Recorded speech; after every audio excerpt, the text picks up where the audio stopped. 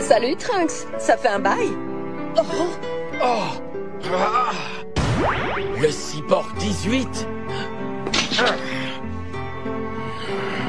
Non, non, non, non, non, attends, Trunks, calme-toi. Ne lui fais pas de mal, s'il te plaît. C'est elle, c'est ma femme, c'est 18 Hein Ouh, papa. Oh, oh.